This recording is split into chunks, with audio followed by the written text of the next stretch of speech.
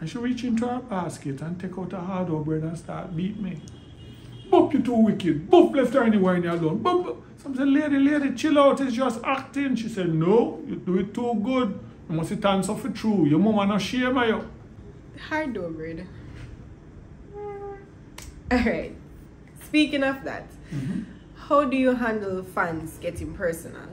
I have been in the tax office and a young lady walk up to me and said, Mr. Martin, I said, sweetheart, say, your wife still not give none. no. Said, Mickey, you know. And I went, really?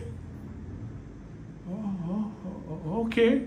Another time, one figure if you come on TV, you must make money. So she walks up to me and she says, So man, beg your bills, no? So I took out the light bill, the water bill. she wasn't amused.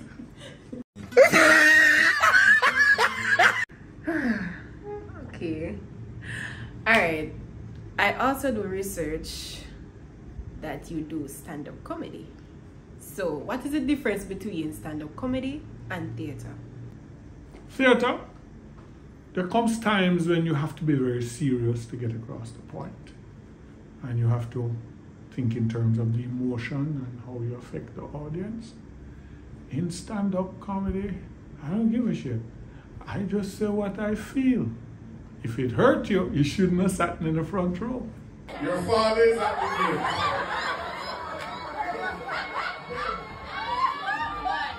And he says until you come out, the music can't start again. As the Jamaicans would say, flop, and foreigners would say, bomb. Have you ever been flop on comedy show before? Who? Me? yes. Yes. Unfortunately, anybody who does stand up comedy who tells you they have never experienced that hasn't been doing stand up comedy. You know what I'm saying? You, you say something and you're supposed to elicit a response, and you hear crickets. And people are sitting and look at you. You have people who pay the money and come. Jamaicans are the hardest audience in the world. And you have someone who sit down and say, pay me good money, you know. Make me laugh. If you know a good feel, make me laugh. And you feel your throat tight now. And you, I'd rather face people with guns. When you have people who just look on you and and you have man looking at the woman them carry and say, and this you make me pay money and carry you come to? And you hope to get off of the stage as quickly as possible. The worst mistake a person doing stand-up comedy can make is to know that you have hit a rough patch and try talk your way through it. Easiest thing to do is, well, that's my time. Thank you very much for watching. Um, gone. I did that once, and that's when I got a laugh. What has been your scariest life experience? One of the scariest moments I found out about after. Um, let's start with military. That road runs down out of Rema to the Denham Town Police Station. Patrol, we're getting back to Denham Town Police Station. And they start firing at us. And people used to after that ask me, how you carry so much rounds because of this one experience. We're running, doing fire and cover and fire and more. And about 200 meters away from the Denham police station, we run out of rounds. And we're behind various places. I was behind a light post, but it was not concrete light post, it was a wooden light post and you literally see the rounds chipping away at the light post. You know, like you see comedy and you see like comics where you see Yeah, eh, like when whittled down, felt like that. And you hear the bullet them whistling. I lost a, show, a soldier that night. And it's one of those things where when you finally make it into Denhamtown police station backyard, you check everything. You check to make certain that your underwear isn't a new shade of brown. You, you check all kind of things. And you look up and you say, Thank you, Lord. You ever been in kind of situation you say, Lord, you see if you get me out of this? I've done that too many times, but that night was thing. The other one I discovered to be scary in retrospect. I went to my doctor, God rest his soul, Chapter Ford, and he used to operate at night, testing me because I wasn't feeling that well. And last thing he said to me before I left to go home, he said, But your heart okay, man? Your heart's good. So I left, went home, and couldn't lie down. Couldn't find a abiding place. Something said to me, call him. So I call him, and he said, Come back out of abundance of caution. So I went back, and him start checking me again. And when he do so, bam, and put stethoscope on my chest, him say, Hold your breath. I held my breath, and you felt something go boom. And say, You feel that? Say, Yeah. And he starts writing and he says, Find someone to carry you to KPH now. This is after midnight. I'm like, yeah, but I go dig around for find somebody to drive me down there. So I drove myself to KPH. When I got there, hand the letter to the doctor. Lauren says, sit down there and start to put the blood pressure thing and thing. And he look at me and say, You used to act on Royal Palm? I'm gonna say, yeah. He said, well, you're acting in a new movie now. That's what I mean. So you're acting in The Walking Dead. Because my numbers said that I shouldn't have been alive, much less walking into the thing. Long story short, had discovered I had one of my arteries 95% blocked and another one 75%.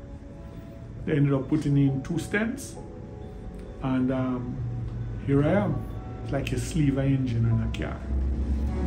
I was told initially, don't get stressed and don't rev that too fast.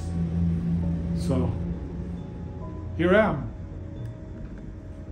Um, for people who take certain things for granted, like your health, don't. I've known people younger than me who never survived that. They never even see it coming, boop, on the door.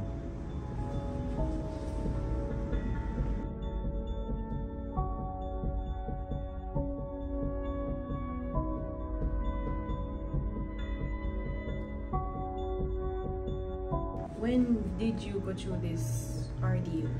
16th of January 2019. Remember it like it was yesterday. Uncle Bobby, hmm I'm happy you're still with us. I'm happy that you're happy. There's some people who are not, but let's not talk about them. Let's not. So, how do you get in bartender? Orville called me and said he wanted me to do a cameo. No, I don't know if you're familiar with the terminologies, but cameo means that you just pop in, say hi, how you doing, and you're gone. I did the cameo for him, and I saw this look in his eye. It's like him saying, hmm, hmm. As him said, the rest is history. I went from another one to another one to another one, and I just kept going. The guy, you know, it was a man, he's a manager there, I'm trying to still. I'm gonna try call it. No, not yet. Not yet. Alright, bro. Check you later. Yeah, yeah, man, we're cool. As, as, as usual, you know what I'm saying? Money, money, money, money, money. Mm-hmm. But the same thing, I try to find sometime. You, you have the you have the place that cool. Okay, friends. Alright friends, we call you before we come up. Alright, take care. Love you. Alright. No, no, no, no, no, no. My J has not flagged. That is my one and only brother. No, but not judge. So, I what's the difference between Mullins in bartender and Madden in Royal Palm? That's the easiest way I can put it. Mullins is cerebral. He thinks out everything. Long with he plays chess. Everybody is playing checkers. Madden is an evil son of a so and so. And he will bury you rather than try and work out anything else. Interesting. What's more interesting is that I have a little bit of both in me. What advice you would give a young actress like me? One, don't take yourself too seriously. Two, you'll get very good press and a whole heap of compliments. Don't believe them. Three, believe in yourself. There's nobody else is going to believe in you for you. Four, you're going to get very popular and very well known. But remember who you are. Because everything else you do is a part you're playing. And when you finish, you just lock off that part and leave. When I used to do Royal Palm, for instance, when I got on set, I turned on Madden. When the director said, cut, that's a wrap, I turn off Madden. I've known actors, and I will call the name, who became the person they were acting. Got to the point where them looked like they was schizophrenic. Them couldn't draw a line between part them playing and the person they really are. Thank you so much for this interview and thank you for that advice that you just gave me. You're most welcome.